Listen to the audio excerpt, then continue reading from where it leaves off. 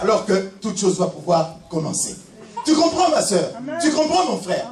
Il faut d'abord cette parole qui va t'apporter la lumière, la compréhension sur les choses que le diable veut te cacher, sur les choses que le diable ne veut pas que tu saches et que tu comprennes. Tu n'es pas n'importe qui. Tu es la créature de Dieu. Tu as été créé à l'image, à la ressemblance de Dieu. Tu as été créé pour dominer. Tu as été créé pour assujettir. Tu as été créé pour dire et la chose puisse se produire. Parce que tu es créé à l'image. Parce que tu es créé à la ressemblance de Dieu. Frères et sœurs, oui, s'il te plaît, peux-tu venir? Avance un peu. Oui, sœur, viens. Lève-toi, lève-toi, s'il te plaît. Oui, approche de moi. Approche, approche. Viens encore, approche. Je l'ai vu dans le bus. Non, ça ne fait rien. Rentre, rentre ta soeur. Rentre, assieds-toi. Va t'asseoir. Ça ne fait rien. Fais soeur. Je ne sais pas si vous avez compris ce que je viens de faire. Est-ce que je l'ai touché? Non. Est-ce que je l'ai poussé? Non. Vous avez vu cette maman, malgré son âge? Vous avez vu qu'elle s'est levée Vous avez vu qu'elle a marché jusqu'ici? Elle est arrivée jusque là où je suis, non? Elle est rentrée. Elle n'a pas compris. Elle est allée s'asseoir. Pourquoi? Parce que j'ai... Je, n'ai pas touché. Je n'ai pas secoué. Je n'ai pas levé le. Je n'ai pas soulevé sa jambe. J'ai parlé. Je lui ai dit. Et elle s'est levée. Simplement parce que j'ai dit la parole. Qui dit lève-toi. Et elle s'est levée. J'ai dit ensuite viens. Elle est venue. Pendant qu'elle faisait l'effort de venir, je dis, arrête-toi, elle s'est dit, retourne. Elle s'est retournée. Va t'asseoir, elle est allée s'asseoir. C'est le moyen de la parole. Elle était de quelle couleur? Elle était bleue? Non, non. Où est-ce qu'elle était jaune? L'esprit. Où est-ce qu'elle était verte? Est-ce que tu l'as vue? Non. Elle était carrée Non. Où est-ce qu'elle était trapèze? Où est-ce qu'elle était cubique Mais c'était la parole.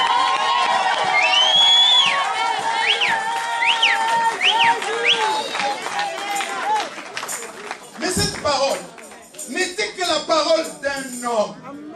Maintenant, imagine la parole du Tout-Puissant. Imagine la parole du Saint Celle-là sort, rien ne peut bouger. Rien ne peut résister. Les poissons peuvent monter. Et Pierre peut faire une pêche miraculeuse. Le vent, les tempêtes et les flots peuvent s'élever. Quand ils s'élèvent, il dit seulement silence, tais-toi. Ils se taisent. Plus de tempêtes dans ta vie, plus de flots dans ta vie, plus rien qui ne menace ta vie. Tout s'est calmé. La parole.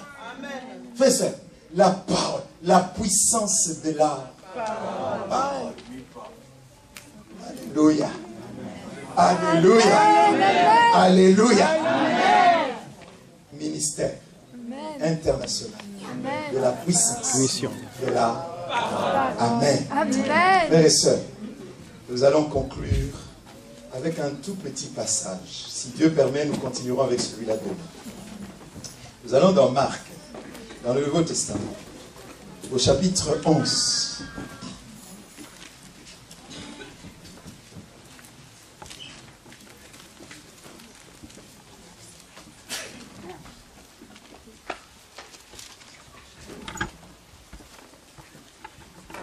L'homme de Dieu, Banana a abordé un tout petit peu cela.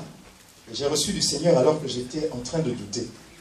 La confirmation que non, il fallait que ceci aussi soit dit dans ce message. Luc, Marc, pardon, chapitre 11, verset 20.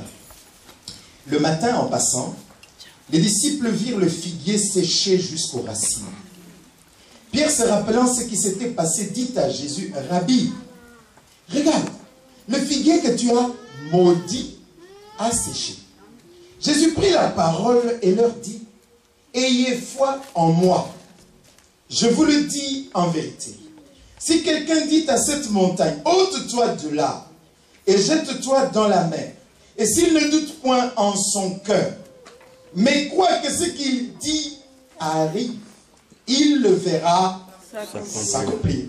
C'est pourquoi je vous dis, tout ce que vous demanderez en priant, croyez que vous l'avez reçu et vous le verrez s'accomplir. Frères et sœurs, ils avaient vu quoi? La veille,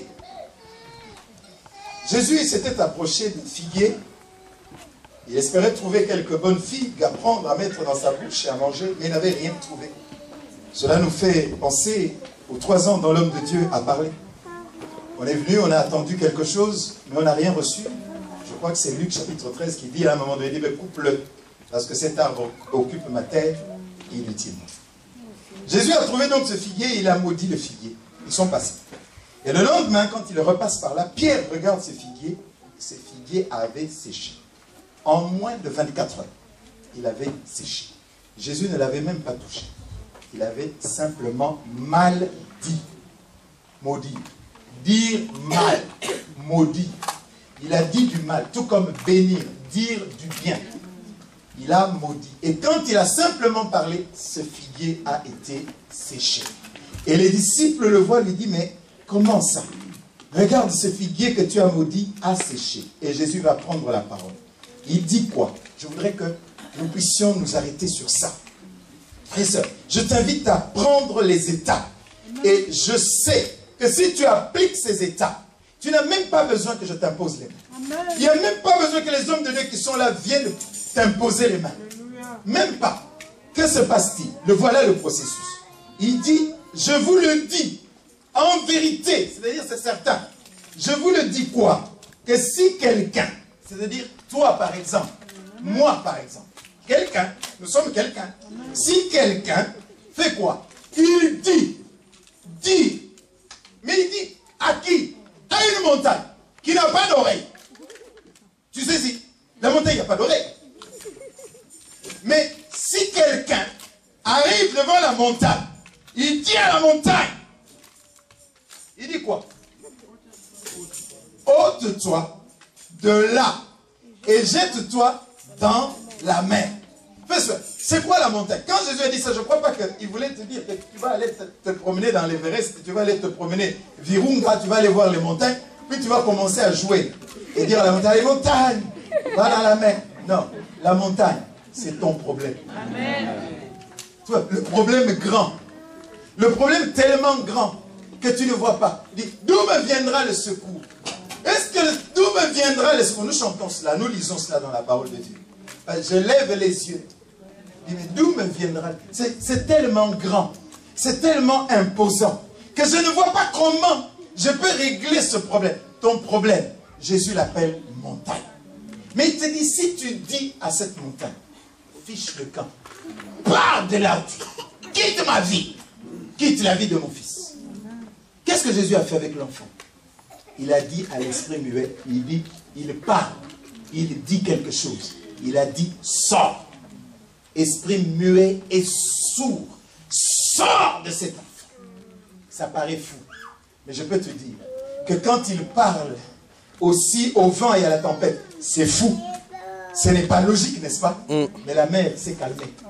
Quand Jésus te dit, dis à ce problème, cerne ce problème, dis à ce problème, ôte-toi de là, jette-toi dans la mer. Première étape. Dis. Deuxième étape. S'il et s'il ne doute pas. Donc, dis, c'est un et. Donc, deux.